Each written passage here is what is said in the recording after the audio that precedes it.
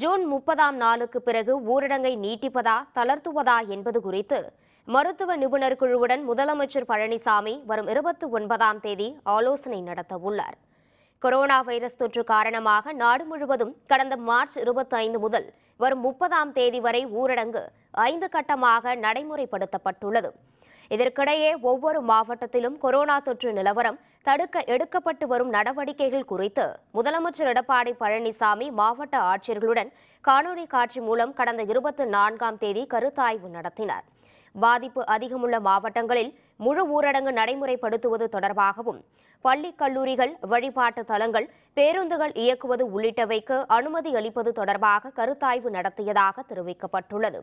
மாவட்ட ஆட்சியர்களுடனான கருத்தாய்வுக்கு பின் மருத்துவ நிபுணர்கள் குழுவுடன் முதலமைச்சர் வரும் இருபத்தி ஒன்பதாம் தேதி கருத்தாய்வு நடத்துகிறார். சென்னை தலைமை செயலகத்தில் கொரோனா தடுப்பு சிறப்பு மருத்துவ நிபுணர் குழுவுடன் முதல்வர் எடப்பாடி பழனிசாமி கருத்தாய்வு நடத்த உள்ளார்